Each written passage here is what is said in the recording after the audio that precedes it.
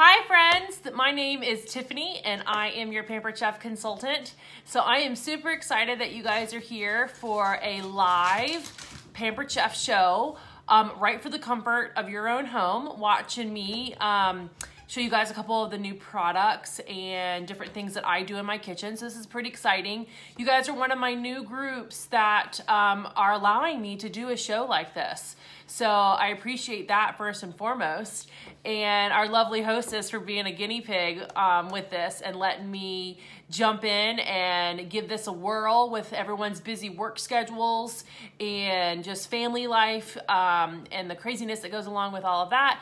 So we decided that we would go live tonight and show you guys a quick cooking demonstration so that you can see some of these products in action while you put your feet up in your own home. Maybe you're sitting there in your jammies or your comfy clothes and you have a beverage of choice in your hand. So hi, um, give me a um, like a wave or a hi, take a, a selfie of what you're drinking. Um, let me know what's going on. And I'm gonna start um, how I start every show by, of course, thanking our lovely hostess for having us all here tonight. So thank you so much. I see you're on um, for having us here, and I really appreciate it.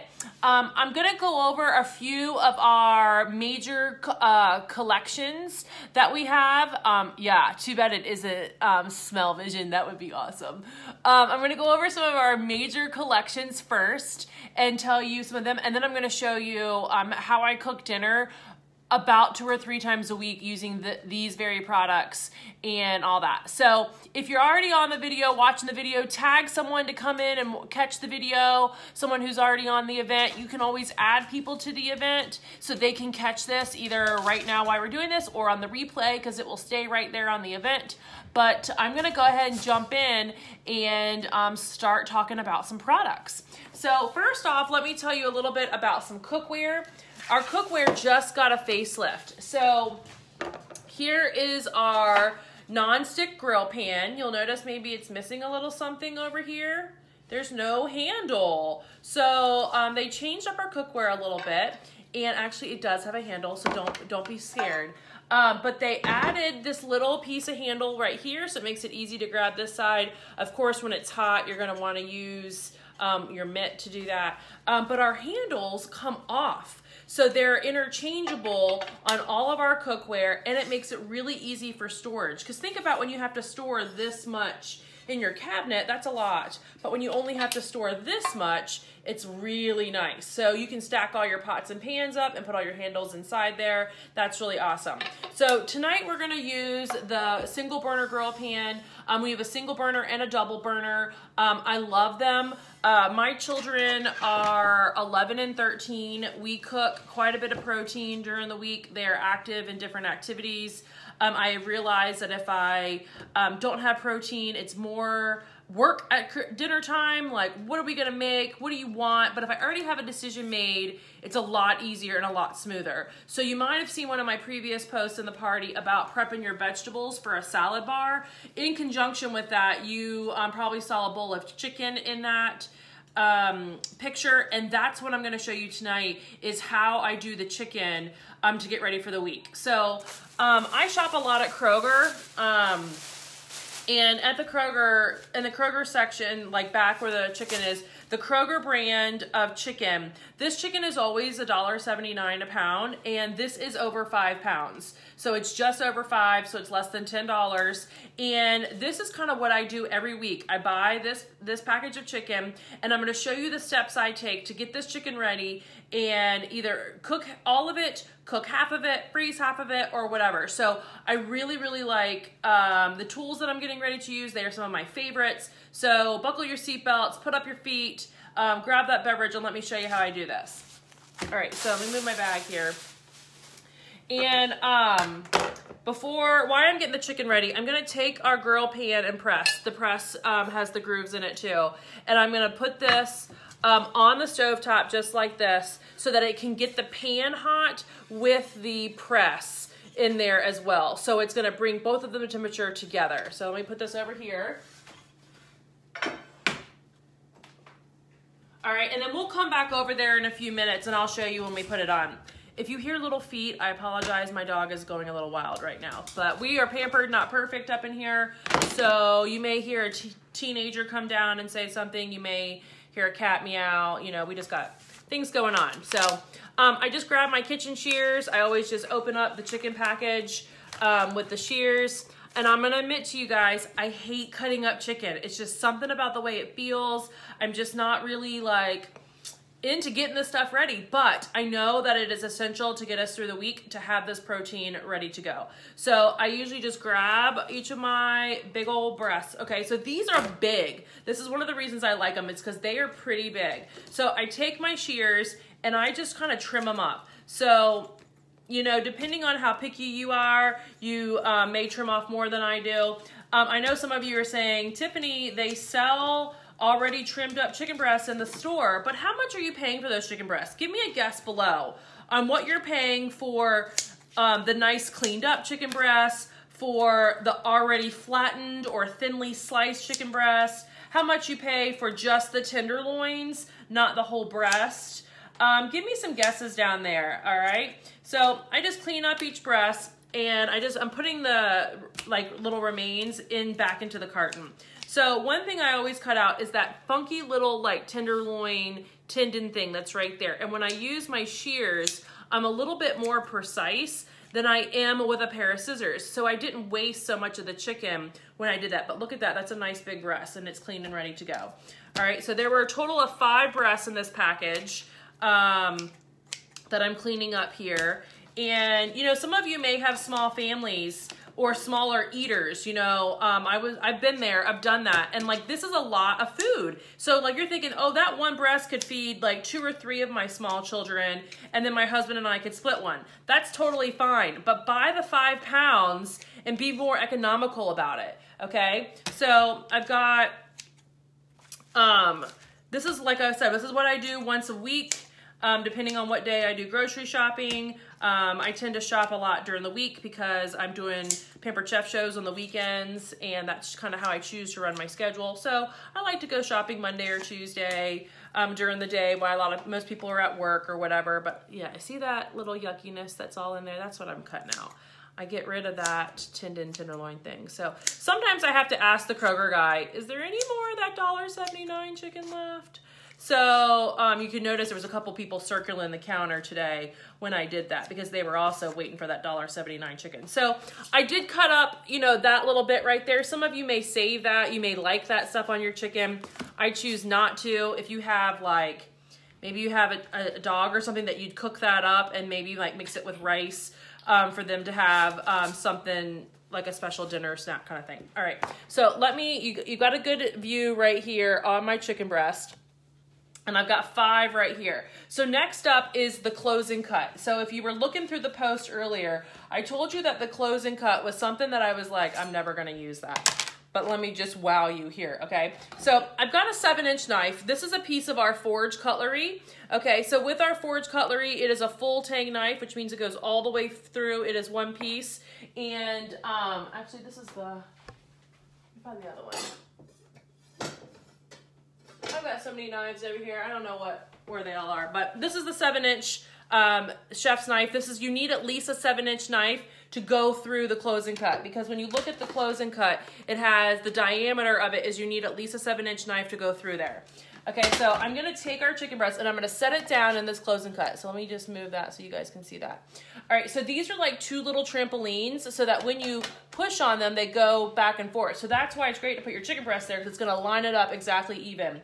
Also, um, the fifth most dangerous thing you can cut um, in your kitchen is a bagel because people tend to hold the bagel like this and then they cut it and then they cut right there in their hand and they end up in the ER because that's a really sensitive piece right there. So this is great for bagels. If you've got the young kids and you need to do like cut up a bunch of grapes or cut up grape tomatoes, you just slice them right in there. They also, the grapes slice like that, freeze them, make really good ice cubes in your wine if you so desire. All right, so I'm gonna take our chicken breast, I'm gonna slide it right there and I just kind of squish it. As you can kind of see, I'm kind of fitting it right in there. And then I'm gonna take my knife, I'm gonna set it right here on the edge, and I'm gonna close this. So as my knife is sitting on the edge, it's, almost, it's a little bit in there, I'm gonna squish this down with my left hand, and then I'm gonna go back and forth, and I'm gonna fillet our chicken breast. Look at that, let me show you both. So you've got perfectly filleted chicken breasts, right? So they are nice and even and perfect. So um, they're gonna cook faster because they are thinner. Um, that also helps so they don't dry out when we're cooking them. And um, it's gonna, they're gonna stay nice and juicy. And they're just gonna, um, they're gonna grill up really nice. So I do this to all my breasts. Now tonight I'm not gonna grill all the breasts, but it's really nice if you go ahead and prepare all the chicken that you're gonna need, clean it up, fillet it, and then I've got myself a Ziploc baggie out here. I'm gonna go ahead and freeze half of this um, so that I can um, have some in the freezer for a later point in time. And um, sometimes I go ahead and grill it all, but I'm trying to keep you guys your time kind of just to 30 minutes. So I'm just gonna grill half of it tonight. All right, so there I took the five chicken breasts, I filleted them all. That comes out to 10 chicken breasts. Guys, these are still really decent sized chicken breasts, okay? So think about it. if I had five breasts, that was five pounds. These are still each a half a pound a piece. So pretty good. All right, so this is the hand that I don't, I'm not touching chicken with yet. And I got my Ziploc baggie. And I'm just gonna go ahead, put my cleaned up and filet chicken breast right on in my, that one's, I like these little bit smaller ones that we're gonna do tonight. And we're gonna put these right on in here. Let's see, how many is that, four? All right, I'm gonna cook four, no, I'm gonna cook five, and I'm gonna freeze the other five. All right, I'm gonna set that over there. All right, so then I just take a nice even layer of our chicken breasts and I just put them on my flexible cutting mat, which is what I'm using tonight. All right, and they're layered out right here to go. Me grab my seasoning. We are gonna use tonight, let's see, what did I say we were gonna use?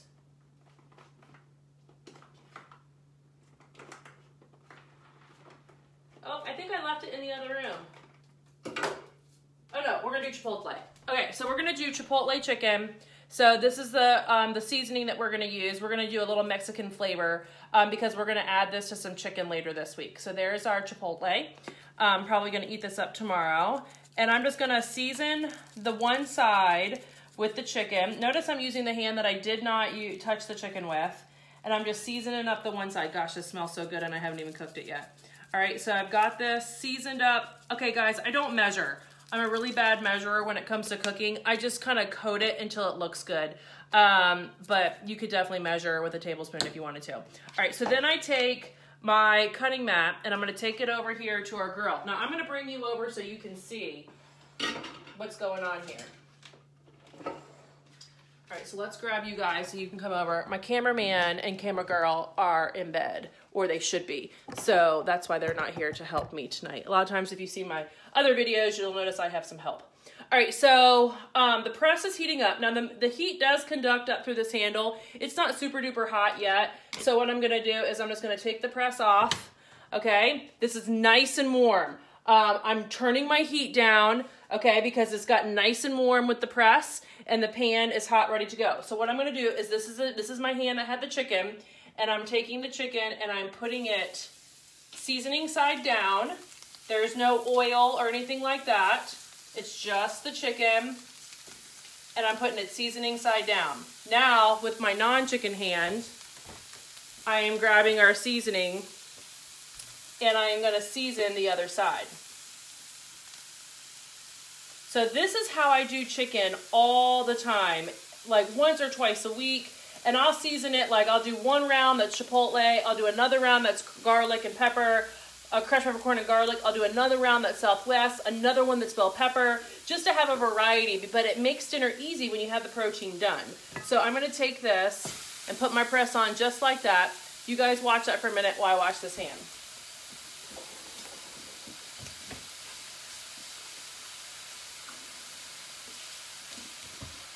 All right, so we just leave the press on there like that. Now the interesting thing with protein is when you are cooking with protein, what happens between the pan, the press, and the protein is it creates a suction. So right now, if I go to pull this up, like I'm putting some some good pressure on there, it won't pull up. So there's a there's a suction that is created. So that means your chicken is not ready to flip.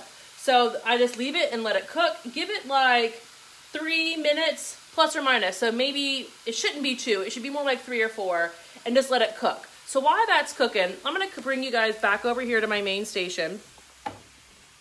and let you guys see what's going on. So we are done with this. So we're gonna just stick this in the soapy sink.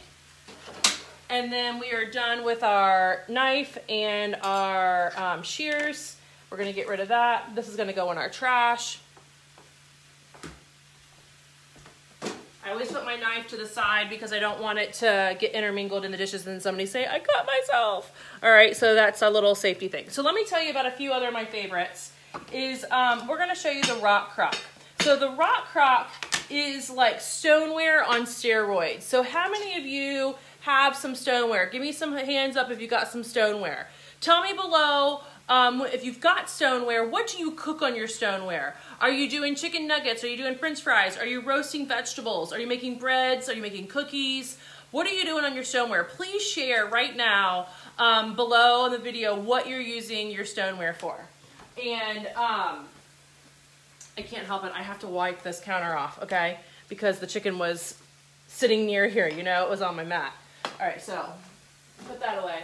All right, so with stoneware, let me just show you a piece. This is the joy of being in my own kitchen. This is what stoneware looks like the more you use it, right? The more you use it, the browner it becomes. This is a beautiful large round stone with handles. All right, so they did is stoneware on steroids is known as the rock crock. So this is a piece of clay that has a ceramic coating on it that makes this safe up to 752 degrees. Please tell me you're not cooking at 752 in your kitchen, okay? Or I'm gonna call the fire department.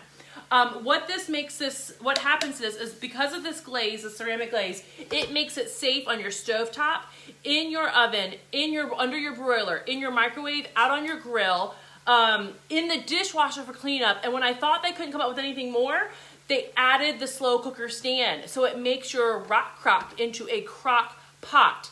This is amazing. You're totally wanna, gonna, gonna want to get this. This is the four quart capacity. Um, I make entire meals in here, one pot wonders right in here, and I still have leftovers, which is great for my family, so that we can have stuff the next day. So I love this, comes with a lid. You can upgrade to the bundle and save $30 when you get the whole set together. I know you're thinking, Tiffany, I already have a crock pot. That's okay. Donate it to someone in need and get this because your crock pot can't do all the things that a rock crock can do. All right, so that is the rock crock. Let's go back to our girl pan. All right, so over here, our grill pan is just sizzling along and um, I can, let's see, if that releases really easily. I'm putting the same amount of pressure and it just release. So I'm gonna grab my tongs and I'm just going to flip my chicken, okay? So this is still, let me just show you some safetiness. Let's use a, a pot holder and we're just gonna take our press off. I'm gonna take our chicken and I'm gonna flip. Oh my goodness, this smells so good. This might bring the teenager down looking for food, okay? So this is how I grill it like a girl, okay? Because you guys know in Virginia, it can be hot, cold, muggy, or buggy all in one day and get two inches of snow, just like we did last night. So this is how I grill in the house without having to go outside and lose eyelashes and arm hair to the gas grill. That's happened. Okay, so I'm grilling it like a girl in the house. So there's my chicken. It's doing great right here on there. Now, with the new cookware, um, not only does the handle come off for easy storage, but the whole thing, after you take the handle off, the whole pan and the press are dishwasher safe. Aren't those like the three best words ever? Dishwasher safe, D-W-S. Okay, so this is dishwasher safe, which is fabulous for cleanup. Okay, so I love that I can, when I'm done, I just, you know, I'm gonna let it cool before I put it in my dishwasher and then I'm gonna do that. So let's give that another minute or two while it's sitting all right there and let's just show you my some of my other faves. Now I wanna know how many of you have a magic wand in your kitchen? And no, that's not your husband cooking you dinner. That's one of these. All right, this is the mix and chop. Give me some um, hands up. Give me some um, some Facebook blue um, hands if you've got one of these, okay? The mix and chop is awesome. There we go, I see one. Because when you do Taco Tuesday or Wednesday or Thursday or Friday, because we don't discriminate, we like tacos on any day that end in Y, you need a mix and chop. So you're gonna use it in your skillet as you move things around. Um, use it for your ground beef, use it for your ground sausage or ground turkey, um, we use it to make guacamole. We use it to make like an egg salad. We use it for a lot of different things. This is nylon. It is not going to scratch your cookware. So in addition to um, the grill pan. We also have a new line of cookware that is a stainless with a non-stick mesh right here so that you do not have to be scared to cook with stainless. I've always been really scared with stainless, but this has been amazing. So I like the non-stick is on the inside. This is the 12 inch skillet. It does have a lid. Um, I've been using this quite a bit to make egg scrambles for my family. We take like, you know, five, six, seven, eight eggs, scramble them up in there with some sausage and pepper and jalapeno, top with cheese. And we have been going carbless on that breakfast right there. So I love this. This is a piece you're gonna want to have. Either you're gonna book a show to get it um, free or half price, or you're just gonna add it to your cart right now. So I love this. All right, so I think our chicken is done. Let me um, bring it over to you. I'm just gonna turn my burner off, take, release my press, and then a lot of times what I do is I just take it and put it right in my batter bowl. All right, we'll let this cool over here. All right, so here's my batter bowl full of grilled chicken. Look at that steam, isn't it beautiful? Look at those beautiful grill marks. I hope you guys can see them. I know you can't smell them, but they're beautiful. All right, so you're gonna add this to your wish list, salad choppers. These are the things that are the most wrongly named things in the entire catalog because I hardly ever use them for salad. I use them so much for meat. So right now we're gonna use them for chicken. They're great for like a, a tenderloin, for a butt or a shoulder, anything like that. If your husband's doing a brisket or something outside. But after my chicken has been put in here and while it is still hot, I just grab my salad choppers and I just go to town on this chicken. So if you like chicken tacos, chicken enchiladas, chicken um, salad, chicken on your salad, um, this is these are great tools to have. Okay, so I wonder if I can get you guys a little closer without tipping you over. All right, there we go. So can you see this chicken? And how it just like, these are two Santoku knives on a hinge. These are part of our lifetime guarantee line. Our cookware, our forge cutlery, and our salad choppers are lifetime guarantee. And it just chops these up so nicely. And so there I've shred my chicken. I didn't have to wait for it to cool. I didn't use two forks and painless, painfully try to slice and dice that up. So it is ready to go. A lot of times I just let it cool. We'll throw this, you know, on soft tacos and make um, like a soft taco-y kind of fajita-y kind of thing. Um, but a lot of times, because I'm cooking it during the day while the kids are at school, and I've then I'm getting ready to do another set, I'll put this in the freeze refrigerator so when they come home and they're hangry, I can say, let's get some chicken out and we'll go ahead and make a quesadilla.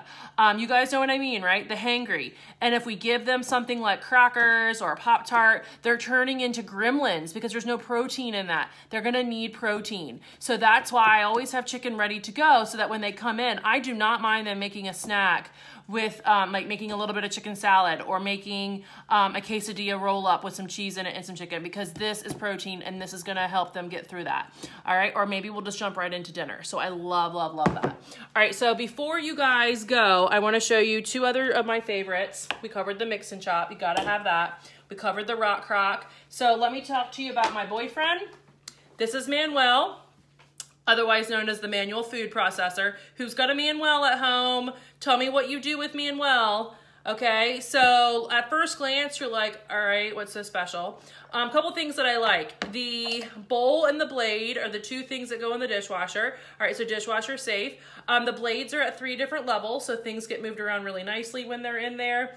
Um, you, When you put this in the dishwasher, here's a quick tip. If this is your top rack, put your blade in like that, put your bowl like this so that when it is in the dishwasher and things move around, when you go to unload it, you don't accidentally grab that blade and cut yourself. This is your reminder, oh my gosh, there's a blade underneath that bowl. All right, there's a little post in the bottom of the bowl. That's where the blade sits on.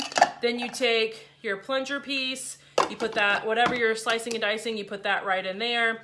You pop the handle and you slice and dice, okay? So things I use this for. Um, of course, an awesome sensational salsa for Taco Tuesday, right?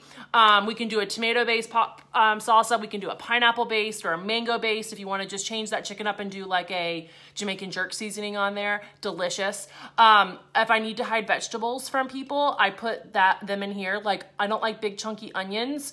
I even don't like big chunky diced tomatoes that come in the can. I put them back in here and break them up a few more times. Um, I can fit a dozen eggs in here and scramble them all at once for a breakfast casserole. Um, so I absolutely love Manuel. Um, you're just gonna hand wash the bottom part here. Do not plunge this down in the sink. Um, but the other two pieces go in there. It does come with a bowl. So if you make a fantabulous um, salsa and you wanna put it in your fridge and um, wait until party time, you can do that. Or if there's something left over, like, and you wanna um, come back to it later, you can put it in the fridge with the lid and not with the blade. You can take the blade and the um, little plunger piece off. All right, so next up, last product we're gonna talk about tonight is the Veggie Spiralizer. So anybody out there trying to eliminate carbs? Are you trying to eat more vegetables? Do you like making your vegetables into fun shapes? Then you're probably gonna want a Veggie Spiralizer.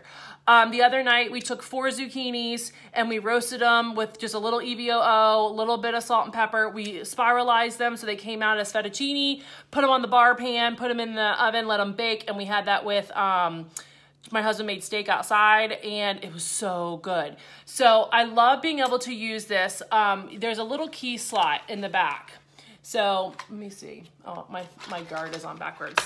All right, so if you do not use if you do not put the little key in the slot, you see it's just flat right there. You can see through that hole. So if you put like a solid veggie on there, like a zucchini, and you crank the handle, it's gonna come out in ribbons. So you'll see that in a picture I'll post later. If you put the key in, so let me grab the key out of this um, little safety holder here. All right, so when you have the key, you either have the fettuccine side or the spaghetti side, depending on um, your preference. You just slide it in the hole, you tighten it up, and then you crank. So with a solid veggie, you'll get your um, zoodles. So if you have done like, you know, your zucchini, you probably have seen this in the store. They sell spiralized zucchini in the store for like a package. It's like what, about that big, maybe it's three or four cups. Um, that costs you what, $8.99, $9.99, $12.99 and then it goes bad in a, a, day or two, so you need to use it right then. And um, you know, it's gonna be for one meal. This is gonna last you so much longer especially as the summertime comes and the zucchinis get bigger.